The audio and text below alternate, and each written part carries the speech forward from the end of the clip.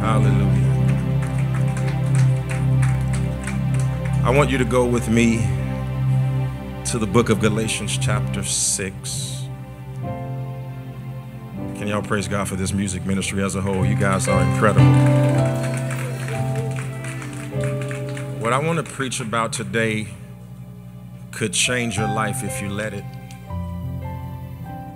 Somebody say this it could change my life if I let it. This is one of the most rehearsed verses in the scripture. Uh, but, John, it's not the most studied.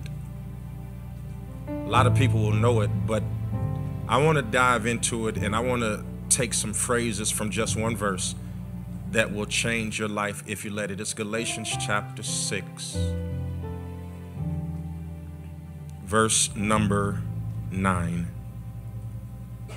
You heard it. Let's find out what it means. And let us not be weary. Or in if you know it the way they taught us in church, and be not weary in well doing. For in due season you will reap a harvest. You shall reap a harvest if, somebody say, if, if you faint not. How many of y'all know it's about time you get your harvest? I mean, you've been wishing, hoping, praying, fasting, being humble, taking the low road, taking the back seat for your harvest. If I'm talking to you, say you're talking to me. Can you do me a favor? I want you to look at your neighbor and say, Neighbor, I know this is our first date. But God told me to tell you something. And I hope it don't scare you. I'm due. You may be seated in the presence of the Lord. Everybody shout, I'm due. So recently, I had the opportunity to go to Accra, Ghana on the Gold Coast to preach the gospel of Jesus Christ. It is the honor of my life to get to preach the gospel for you. But it is special when people call you across the water to preach the gospel. They have an entirely different culture than me. They speak different languages than I do. And somehow God entrusted me with the gift that they would summon me to another continent to share the gospel of Jesus. And it may not mean anything to you, but I know people who they don't want to hear in the city they live in, let alone somebody ask you to come across the water to share the gospel. It's amazing to me. I grew up in the, I guess what you would call the hood, the projects. Nobody in our hood was talking about going to Africa. We were just talking about living to get out of high school. We were not talking about having global ministry. We were talking about not being teenage fathers. The goal for us was not to get shot. That's it. And to have given my life to Jesus. And to have preached from everywhere, from Australia to South Africa, meaning Cape Town and both Johannesburg, to Lagos, Nigeria, Abuja, Accra, London, France, Paris, and 42 out of the 50 states. I find myself sometimes in awe that God would use me to do something that amazing. I, I say all of that to say because sometimes you need to sit down long enough to see all he's done for you. You'll think that somebody else's life is better, and their life will be better if that's the life you're thinking about. But if you just settle down and see how many days you went and didn't have to be hungry. I mean, just sit down and think about how many times you went to the gas station and the pump was working. Just think about it. Just think about you may not have everything you want, but you got you got a lot of lot of things that you didn't deserve. Am I talking to anybody in here today? Uh, when I went over to Africa, I was looking at, in some cases, and, and the media would have you to believe that all of Africa is impoverished. Nothing is further from the truth. There are people in Africa that make you and I look poor. And let me tell you something else that's another caveat. We have banks that we get loans from, which means that even though you live in a house, don't mean you can afford it. If they live in a house over there, it's because they bought it because they don't have credit systems. They have to build their houses with cash. They have to buy their cars with cash. So, in some way, their wealth is paramount to ours. Because for most of us in here, you got a nice car, but you're paying $9,000 a month for it. You, you got a nice apartment, but your rent is $22.50 for 200 square feet. she said, Where they live at? I'm exaggerating, but you get the point. You're overpaying for where you live. You're paying too much to hear somebody stumping above your head all day. You're paying too much to hear somebody baby crying all night long. So I got to Africa and I thought, man, in some places, I was feeling sorry for them. And one time I, we rode past a building and I saw a building being painted uh, that they were just building, and outside of it, they had scaffolding. Uh, if you know what scaffolding is, for those of you all who are builders, it's, it's this um, idea that I thought was going to be clearer when they put it up. Uh, but it's this idea of you, you know, you go past a building and you see these metal steps that the guys are walking on, and their painting is called scaffolding, and they build it up on the building so that way they can refurbish it or repaint it or whatever they're doing on the scaffolding. And when we got to Ghana, the scaffolding was made out of bamboo. And I'm driving and I'm thinking, oh my God, we're in the car and I'm thinking, oh my God, I feel so sorry for them. They're having to build scaffolding and, and, and they're doing it out of bamboo and their, their lives are in danger only to recognize that bamboo is stronger than concrete. I began to ask the people about what was going on and why they were using this bamboo. They were literally walking on bamboo, balancing on bamboo. And I'm thinking, oh, the whole thing is about to come crashing down. And I asked one of the attendants, he said, oh, no, you, you got to understand there is something, here it is, I'm preaching, called comprehensive strength. And comprehensive strength is the strength that a material has that prevents it from breaking or being crushed. And he went on to say to me, I don't know if you Americans know it. He said, but bamboo has a stronger comprehensive strength than your bricks and your concrete. I wondered how many people you feel sorry for that are stronger than you. I wonder how many times have you looked at somebody's circumstance and said, Oh, I feel sorry for them because they don't have this and they don't have that. Is it possible, but their strength is built out of what they don't have? Sometimes strength is not the result of what I do have. Sometimes strength is lo- learning the strength of what I have in my possession. He said this is this is this is comprehensive strength. Then he said also also bamboo doesn't just have comprehensive strength. He said it has flexural strength. I said, What is flexural strength? He says flexural strength is the ability of the bamboo to bend without breaking. He said this, this bamboo can bend. He said, and you got all kinds of things in your home and your garage that's made out of bamboo. He said, your, your fishing rods are made out of bamboo. Look at how they bend but don't break. Look at how you have floors that are made out of bamboo. He said, uh, cutting boards where you cut food on. He said, look at all of these things that bamboo is made of, and it is one of our resources. And we have learned how to manufacture some of the most amazing things in our country out of this material. He said again, fishing rods. He said uh, floors. He said tables, cutting boards. And even when you go uh, to other countries uh, in, in tropical places, they build huts out of bamboo.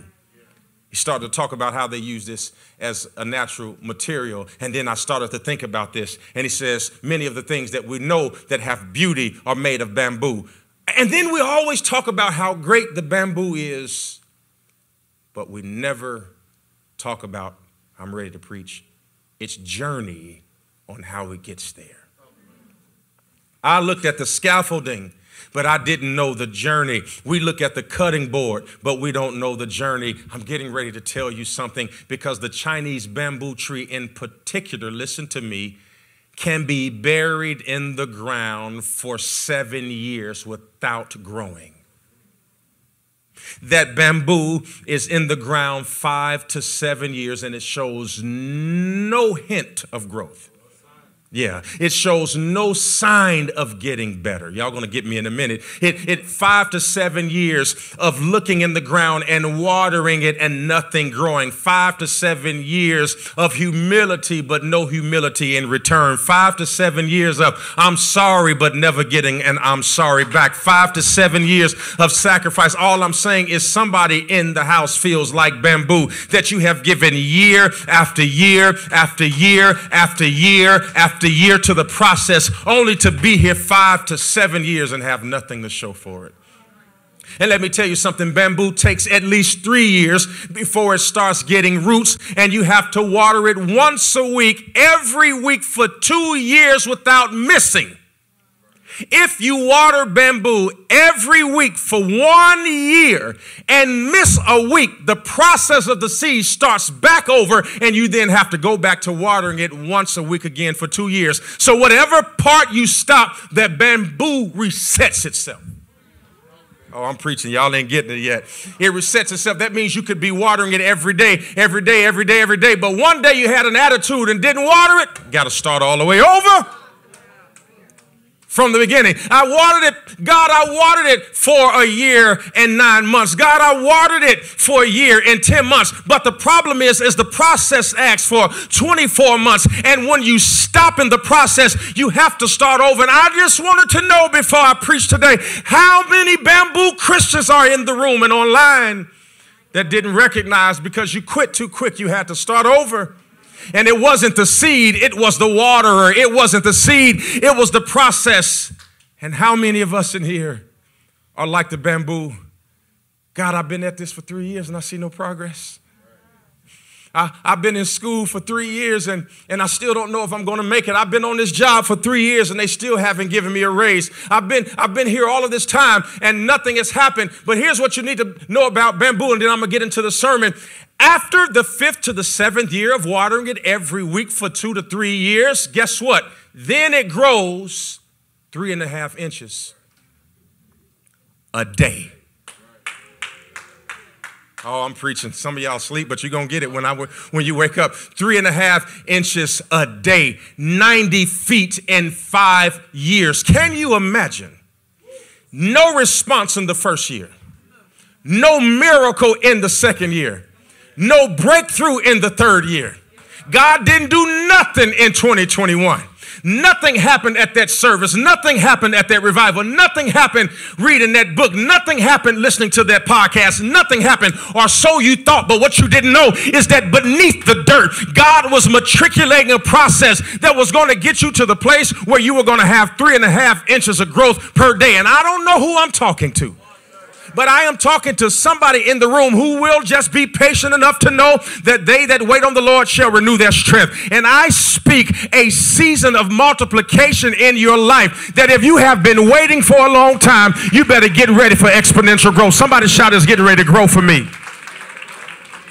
What if you have been broke for the last five years, only for your money to triple three and a half times every year? I receive it too. But the problem is, is that most of us despise dirt time. Oh, preach, Keion. I think I will. We, we love grow time. We love sprout time. We love flossing time. We love showing everybody what God did. But what do you do when God is doing something, but you just can't see it? How many of y'all in here right now? Am I am on your, your front porch ringing your doorbell right now? I'm knocking at your door. You are like the bamboo. It's happening, it's growing, it's flourishing, it's about to happen, but you got to stay with the process. You can't get an attitude when it don't work. You can't stop coming to church when you didn't get the miracle. You can't stop praying just because you don't feel like it. You got to keep going and going and going. And all of a sudden you will wake up and it'll be three and a half inches, six, seven, ten, fifteen $5 raise, $10 raise, $800 raise. $5,000 raise, $100,000 multiplication, and there is no secret what God can do. What He's done for others, He can do for you. So I need all the blessed people to shout in here. The reason why I had the blessed people to shout is so the broke people could get some confidence and know that if God is blessing your neighbor, it means he's in the neighborhood. So do me a favor, just look down your row. If you see anybody that look blessed, you ought to start shouting. Because if they look blessed, it means God is in the neighborhood. Just look down your row. Matter of fact, interview them. Have you been blessed lately? If they say yeah, you better start shouting because God is about to do the same. It is no secret what God can do. What He's done for others, He can do so all the blessed people just shout at your boy. If he ever made a way out of no way, make some noise. If he's ever made rivers in the desert, make noise. If he's ever made armies out of your bones, make some noise. If he's ever done anything for you, make some noise. Why? Because if he's doing it for them, he can most definitely do it for you. You should have been there when they were at their lowest do me a favor. Just tell your neighbors, I'm due. I'm due. I've been, I'm, I'm not leaving here pregnant. I, am going to have this baby if it comes hell or high water. That person you next to, you should have been there when they were thinking about committing suicide. You should have been there when they took the bottle of pills. You should have been there when they thought about cutting their wrists. They are not here today because nothing went wrong. They are here today because they survived the ground time. They are here today because they are in the three and a half inch a day season. I don't know who this is for, but God told me to tell telling you that you are like the bamboo. You can bend, but you will not break. You have a power that most people don't have. You are stronger than you think, and God is about to use you. Listen, listen. He's about to use you. Listen to help somebody else. The bamboo doesn't get to serve itself. The bamboo don't get to walk around talking about, I'm bamboo. I'm bamboo. Boo, I'm bam. I'm, I'm strong. I'm, I'm tough. No, the bamboo has to get strong for somebody to cut on it. The bamboo has to be strong just so somebody can walk on it. Oh, preach, man. The bamboo has to be strong enough just for somebody to sit on it. You got to understand that a part of your destiny is them walking over you and them cutting on you and them sitting stuff on you and them lying on you and them overlooking you so that God can show, yes, so that God can show the world what he can do with the thing that won't quit. Everybody in here has a testimony. Oh, you've been through something. You might not want nobody to know about it. You might be trying to hide it so you can act all good and perfect for us, but you're a mess. Matter of fact, just look at your neighbor and say, I know you're a mess. You ain't got to tell me. I know you're a mess because I'm one too. I know you're a mess. The reason I know you're a mess because I know what a mess look like. I'm a mess. I'm a mess, but I'm saved by grace. Anybody here know what I'm talking about? I'm a mess, but I still got the job that I didn't qualify for. I'm a mess, but they still gonna promote me. I'm a mess. I don't know who this is for, but some of y'all just started a job. You're gonna be promoted faster than the people who were there when you got there. I don't know who that's for, but he just told me to tell you. Today's message on this day after Christmas is for anybody who has ever, listen, been discouraged in the process. This message is for people who tired of waiting. Oh God. This message is for people like they don't even see what I've been doing for. Because if I if I was really who they think I am, everybody know their business. If I if I could, I mean I could if I want to. You, you don't even have any idea how I protected you. How many of y'all have been saying that they have no idea the kind of evil I could really be? And the kind of stuff I can really think of, but I said, you know what? It ain't worth it.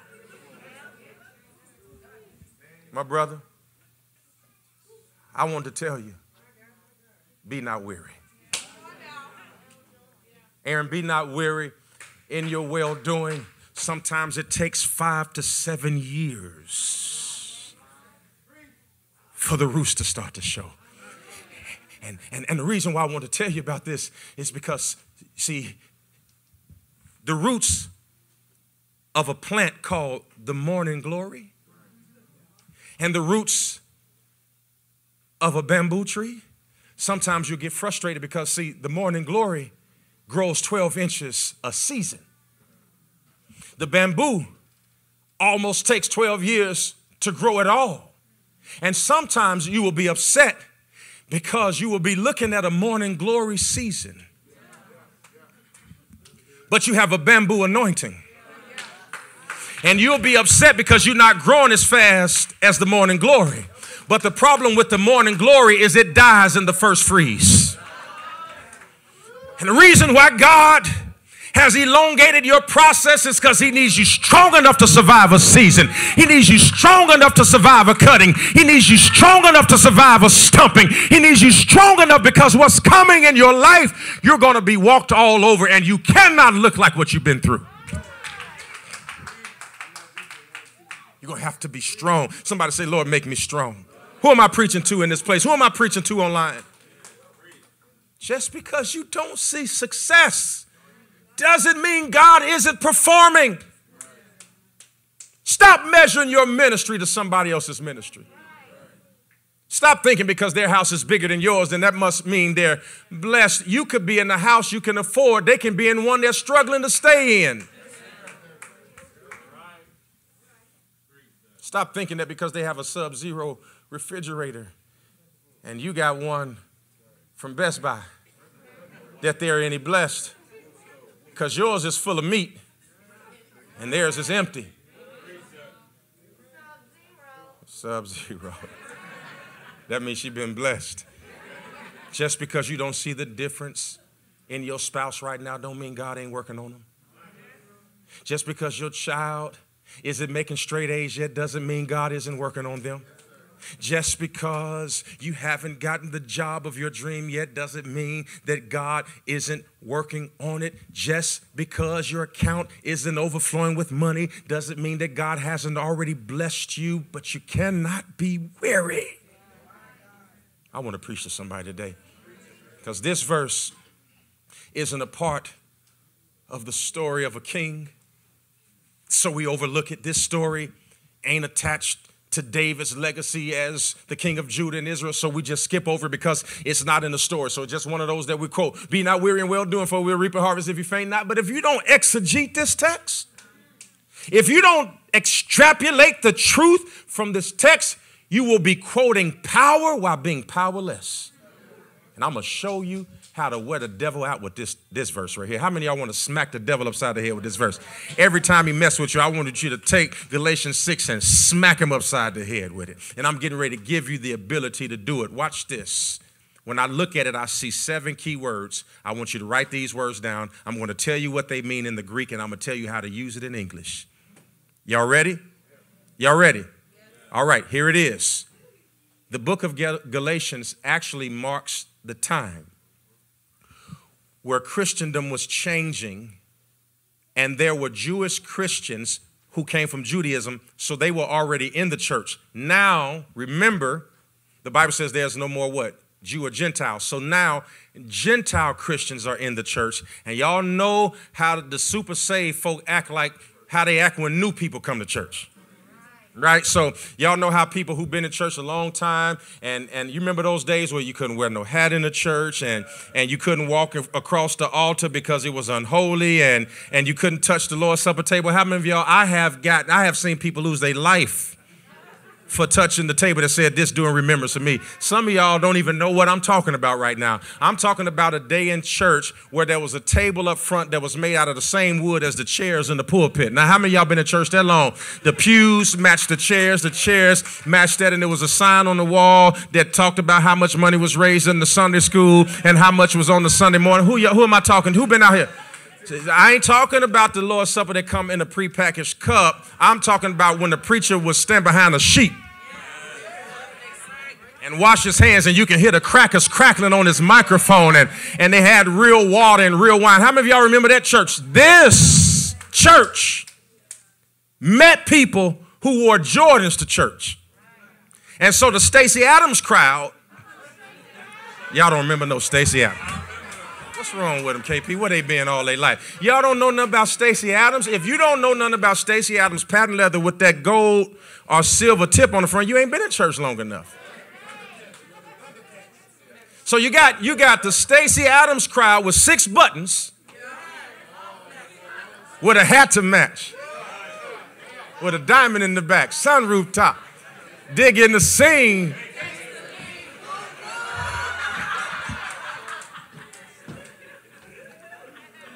And that church met t-shirt wearing Christians. And they thought because they had suits they was better than the people with the t-shirts. And God is like, uh, first of all, I judge not the countenance of a man. I judge a man or a woman by his. So sometimes you can have Christians that have on more than they have in them. And now there's a collision in the church with empty people trying to be full and full people who don't recognize they're empty. And there was a collision in the church, and Paul steps up and writes this book and says, No, God didn't build the church for us to be splintered. There is nor Greek or Jew. In other words, listen, this is actually the Bible's attempt at telling us that racism is wrong. Oh, y'all ain't here with me today. He's actually dealing with racism in the church. And let me tell you something. I don't know whether you know it or not, but racism is still in the body of Christ. And he says, No, I want to build a church where a mother can sit next to a teenager.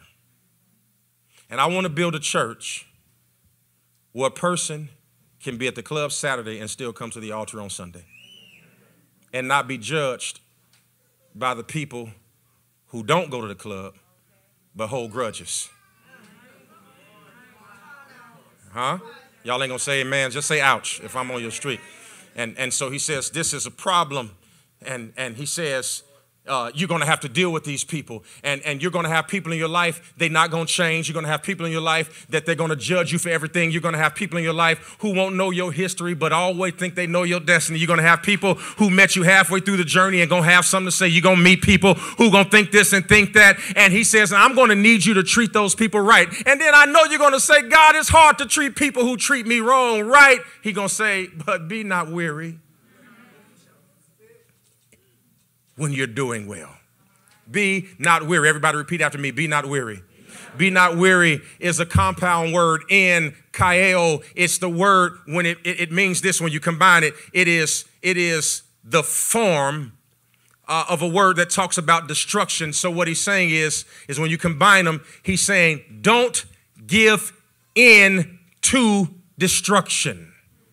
Don't give in. When, when you build a building up, it's called construction. When you tear it down, it's called destruction. In other words, he's saying, don't you get tired when people try to tear you down. Don't get tired when the enemy is trying to bring your confidence down low. Don't get tired. I know you didn't deserve it. I know you didn't have it coming. I know that you have given your best, but you're going to mess around and miss the miracle because my response to your circumstance and what you are going through and what you're fighting, sir, is be not weary. I need everybody here to shout, be not weary. Say it again, be not weary. Paul says, I command you not to surrender. I, I highly suggest that you do not give up. I have to insist that you don't surrender. I don't care how hard it was. I don't care how brokenhearted you are. I don't care what they said. I don't care how low they went. I don't care how they ignored you. I don't care how they walked out on you. My word to you is be not weary. Everybody shall be not weary.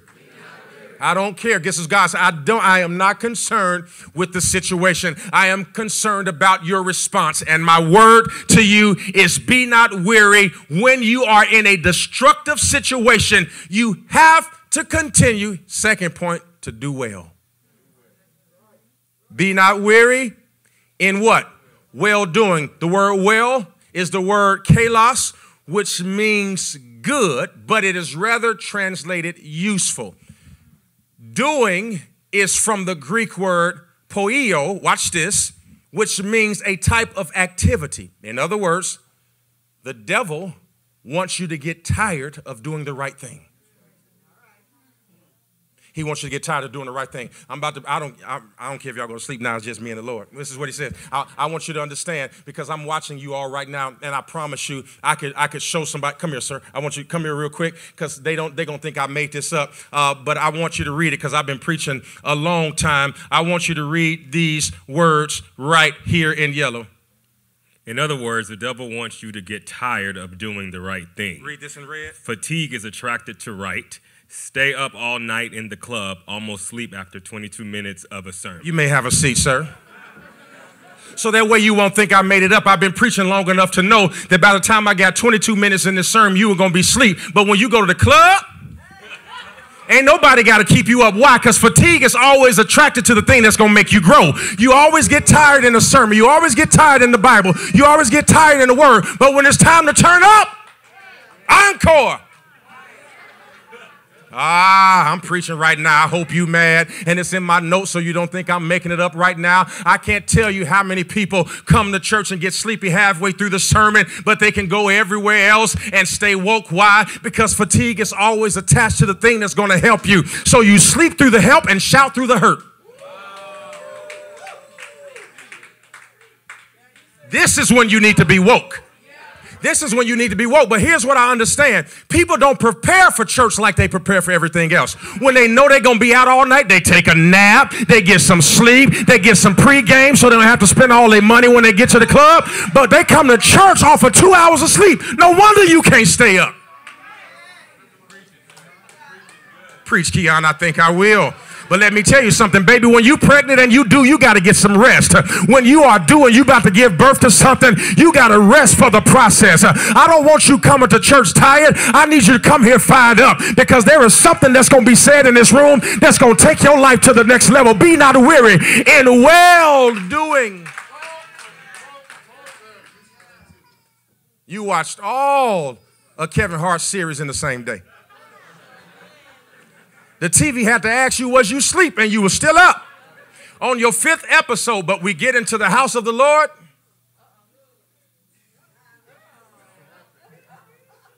Because fatigue is always attached to your help. Now I'm preaching. Oh, Keion, you just said a word. Say it, boy. I will. I think I will. I'll say it again.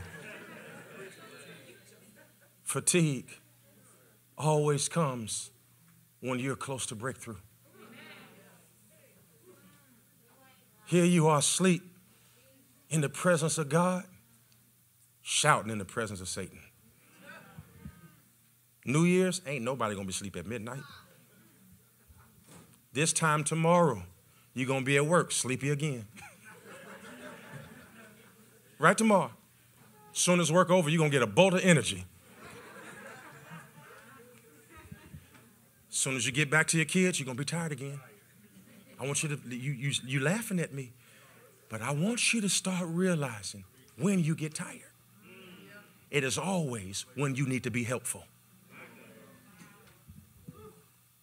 Fatigue is always attached to the thing you were created to hear or do.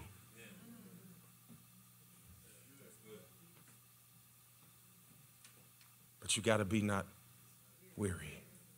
This ain't the time to get weary right now. This sermon is almost over. This ain't the time to get weary. If you you got to say something yourself, you got to wake yourself up because I'm telling you right now, if you use this scripture correctly, you will be able to get the devil off of you. I want you to write this scripture down when you get home and read it. It's 1 Samuel chapter 19 verse 9. I want you to read this when you get home. David was playing the harp for Saul. And the Bible says that Saul was there with his spear in his hand. And then an evil spirit came from the Lord upon Saul, and Saul picked up a javelin and he threw it at David. And the Bible says that David dodged the spear and it went into the wall, and the wall held it. In other words, this man was trying to kill the man that God used to help him. David is playing the harp. Saul throws a spear he jumps out of the way and goes back to doing his job. You know, I thought about telling some of you that when the enemy is throwing things at you, it's not the time to quit. Dodge it and keep playing. The next time a sit, you know, because most times when something is thrown at us that we don't want, we quit. I give up. I'm tired of doing this. I've been giving it all I got. See, that's what the enemy wants you to do. He wants you to quit from one spear. David says, I am called to play this harp, and I'm going to play it until I die. So, guess what? You throw the harp, I'm going to dodge it, I'm going to keep playing. You got to have a life that you stop quitting when you're thrown at, and you just dodge it and keep doing the job. That's what he did. He stopped. You've got to dodge the spear. Everybody say, dodge the spear. Say it again, dodge the spear. And I am telling you, that you cannot be weary in your well doing. Why? Because there is something coming. What's coming? Due season. Be not weary in well doing for due season. Due season, kairos, idios, means its own. Kairos means a set time. That means that your life has its own season. Everybody say, My life has its own season. Sir, you might be a millionaire at 30 Ma'am, you might not get there until you're 40. But just because God did it for him at 30 and does it for you at 40 doesn't mean he's late. It just means that his life had a set time and so does yours. And you got to stop being frustrated with people who get there before you. Because they could be the morning glory.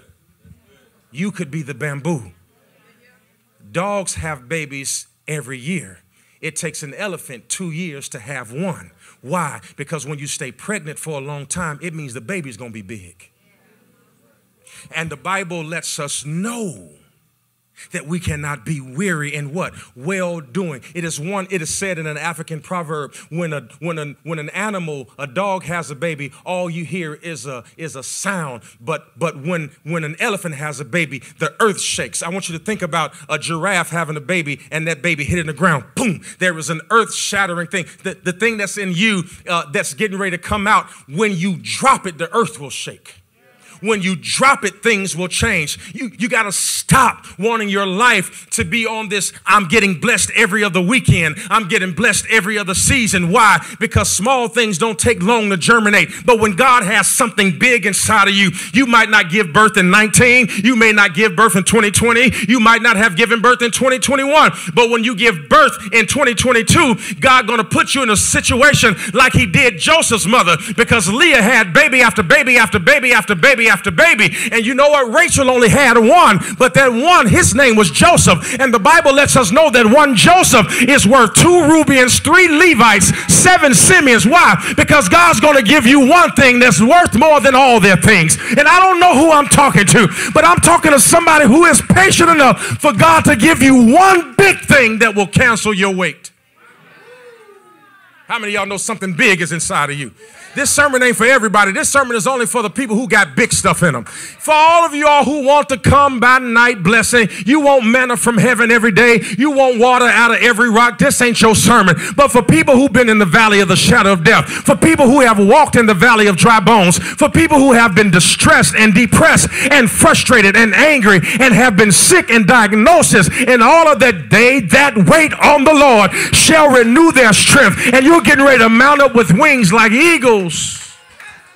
And don't confuse my wings with your wings because chickens have wings too, but they cannot fly. Don't look at somebody's wings and say, I want those wings because one wing is set for the air, the other is set for the ground. You can get wings and still not take flight. And I have never, and I mean never, seen an eagle having a conversation with a chicken about how his day is going. If you go online right now, you can find eagles that walk. You know why? Because they hang out with chickens. You will learn the flight pattern of the people you surround yourself with. And if you keep walking with walkers, you're going to stay on the ground. God, take the walkers out of my life and give me some soarers. Do I have any eagles in this place? I don't want my flight itinerary filled out by somebody who has never left the ground. Give me somebody who has the faith to fly. Ask your neighbor, do you have the faith to fly? What they say. If they ain't say nothing to you, tell them, get off my row and go sit in the back. There's three seats back there. You can go sit in, because over the next 30 seconds, I'm about to turn my whole row into a praise section. If you don't want to praise, get off of my row. I'm looking for glory on this row. I'm looking for growth on this row. Look down your row. If your neighbor ain't talk to you yet, say, please get off my row. Get off. Get off.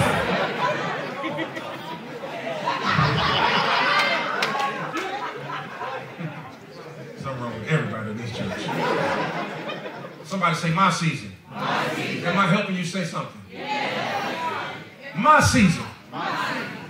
All of our children didn't start walking on the same day. Right. It's true. I can't tell you how many parents do their children a disservice by measuring them against somebody else's child. Mine, mine ain't walking yet. Yours walking, and you know what? Sometimes one might start talking before the other.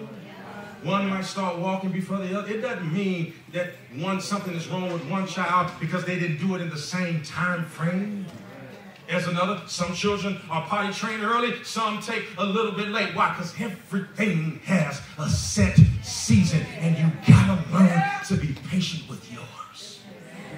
Stop trying to be somebody else. I'd rather die 100% me than half of you. That's good. You gotta wait on the Lord. Everybody say, I got a set season. Some people get rich when they're 20, something like Mark Zuckerberg, and some of them don't become billionaires until they're 50, something like Warren Buffett, and you can't think that God is not going to do it for you because it didn't happen in the same time frame as somebody else. Don't be weary. Yours is going to grow too. Yours is going to blow up too. The idea is going to come to you too if you are patient enough to wait on your set season. Your job is not to grow the seed. Your job is to not get weary so that you don't derail your destiny.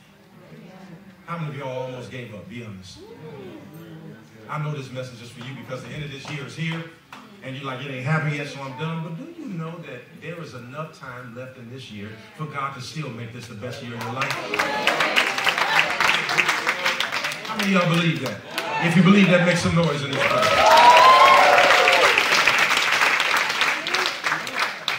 Another scripture I want you to read when you get home.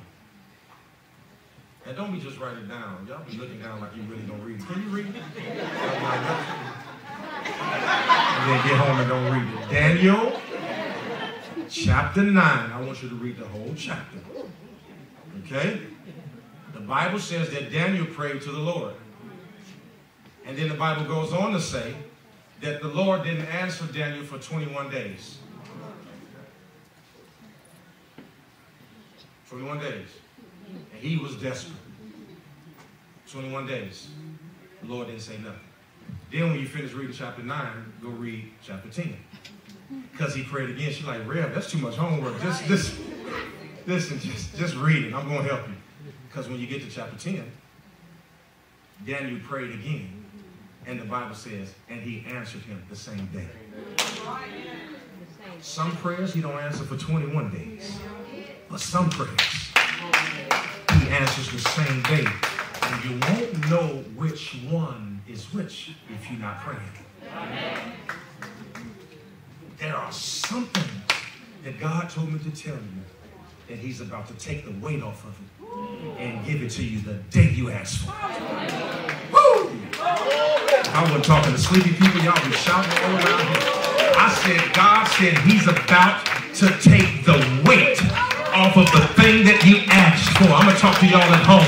God is about to take the weight off of what you have been praying for. If you pray for it today, he's going to give it to you today. If you pray for it tomorrow, you're going to get it tomorrow. But I have made up in my mind that I'm going to ask for it all today. This is the day that the Lord has made, and we ought to rejoice and be glad in it. Stand to your feet. I want to minister to you before I let you go. It don't always happen as fast as you want it to, Cole. It don't always happen as fast as you want it to. I know you got something, you and your wife, you've been praying for it and praying for it and praying for it. You haven't told me what it is, but it ain't going to happen as fast as you want it to because it's got to be stronger than the time frame you're giving it to grow. Because you don't know what weight God is going to put on it. So, so only God knows that. So he said, I'm not making you wait because I'm selfish. I'm making you wait because it's going to have to hold weight. Somebody say, I receive it. I receive it. Because we always shout about the woman with the issue of blood and how she touched the hem of his garment and, and he was made whole. But don't nobody talk about the fact she had to wait 12 years to get it. 12 years of a menstrual cycle. 12 years of your kind of cramps. 12 years. Is everybody cramping the same?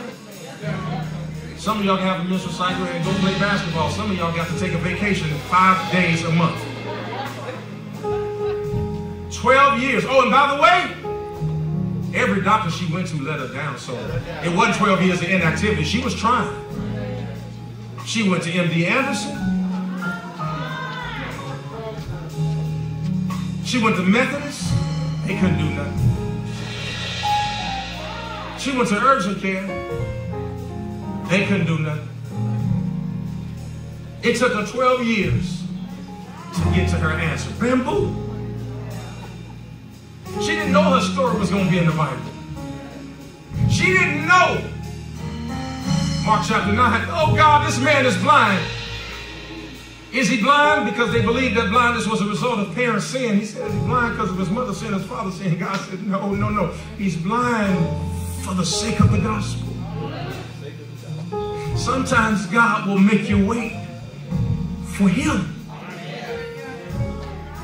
so that he can use your situation as a testimony.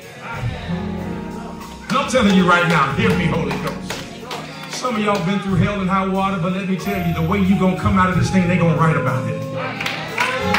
Oh God. Oprah gonna have to cover this testimony. Some of y'all gonna sit on Dr. Phil couch after y'all finish with it. It's, it's a lot right now, but you don't understand there is a best-selling novel coming out of your situation. I know you didn't want to be a single mama, but when you're being interviewed all over the world for how to raise them by yourself, I know you didn't want to lose your job, but one day you're going to have to write a book on how you went from the hood to doing good. There's a whole lot that's getting ready to come out of what you're in, but you got to be not weary. Lazarus, don't you get upset because it took me four days to show up for you. And I showed up the same day for somebody else because let me tell you, when you're dead, it don't matter. When I show up, it's always on time. Don't judge your season off of somebody else's season. Oh, I did that. I did that. I've been there. I bought that ticket. I bought that t-shirt. Sitting here wondering, why isn't our church growing like this church? And why isn't our church doing that? And then all of a sudden, I stepped in my process and.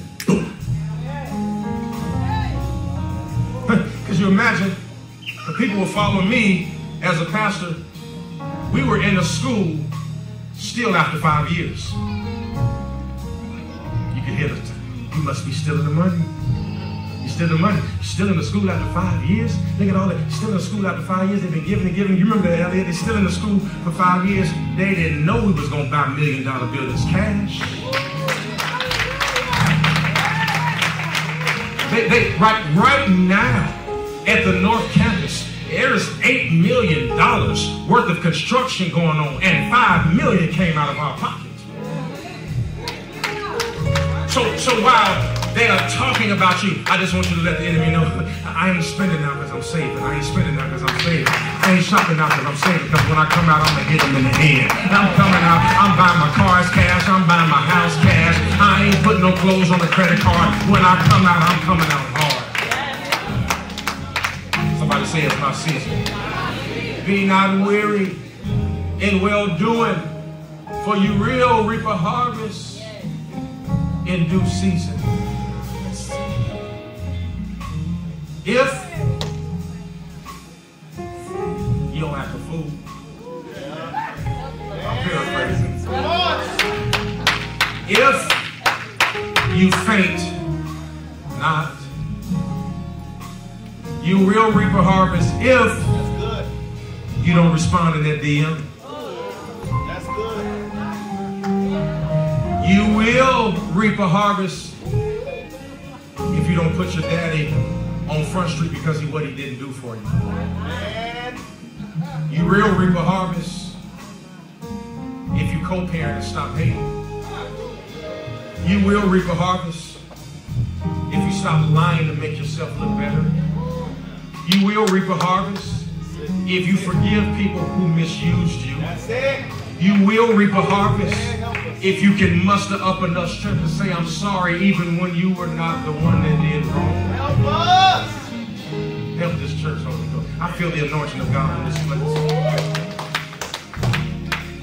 If you've ever been tempted to faint, I want you to lift your hands. Just, I just want to quit.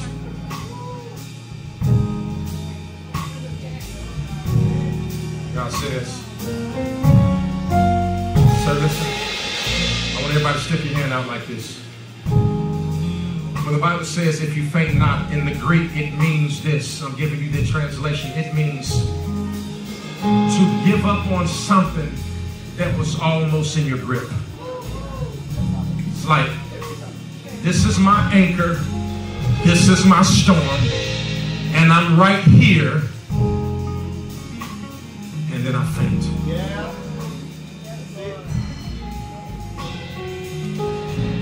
Your deliverance is always on the other side of where you gave up. You are this close. You don't have room to be frustrated when you're this close.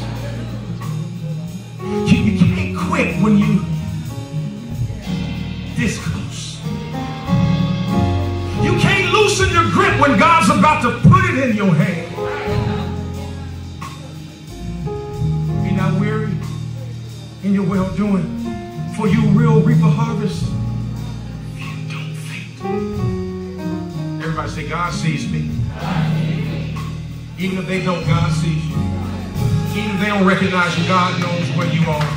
He knows your name. He knows what you did. He knows what you didn't do. And you don't have to spend the rest of your life explaining yourself.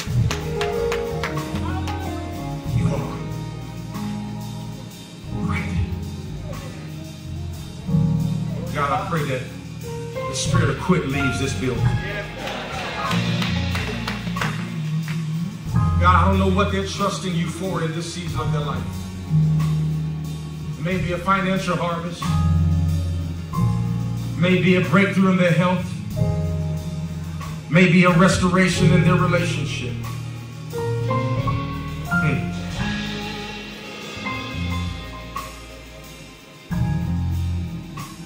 Maybe their harvest is taking longer than they anticipated.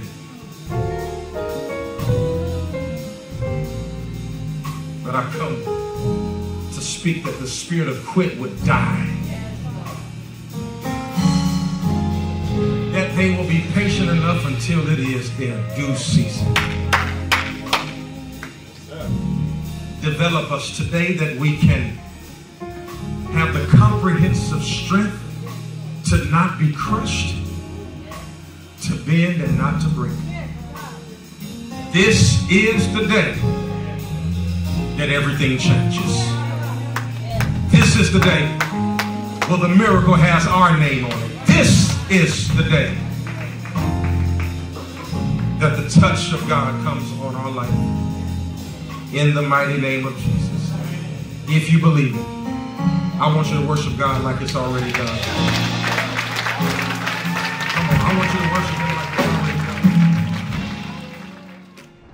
Hey, what's up, family? Listen, I enjoyed the word today. I know you did as well.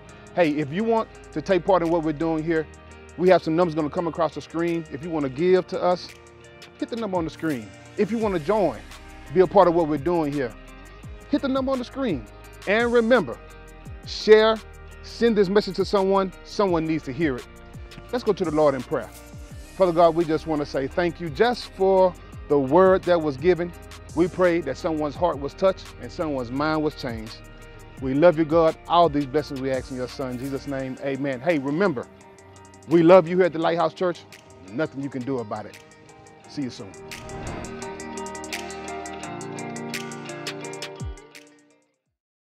Going on is PK here.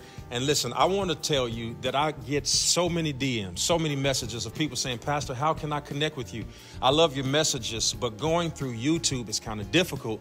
Where can I come to a centralized place? We heard you, and that's why we created Lighthouse 2.0. Lighthouse 2.0 is our tribe, it's our village, it's the place where all of the people who say, I want PK to be my online pastor, and PK says, I want you to be my online member. This is the place where we go, the watering hole, the ecosystem where we all come to grow together. And it is exclusively for you. They're getting ready to put a link up on the screen right now that shows you how you make that exclusive step. And everybody can't get in. So you better take first movers advantage and get in while you can fit in. I can't wait to see you inside of 2.0. May God bless you.